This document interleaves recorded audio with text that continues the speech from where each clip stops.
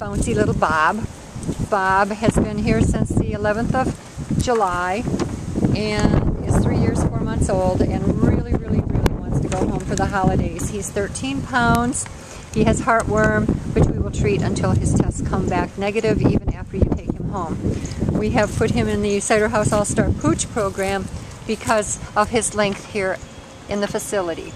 These little Chihuahuas don't usually stay around here very long and we're just really surprised that this one's still here.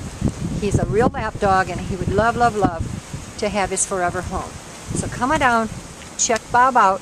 He also comes with $200 to use at the clinic, so that's a real nice bonus. Say, see you soon, Bob.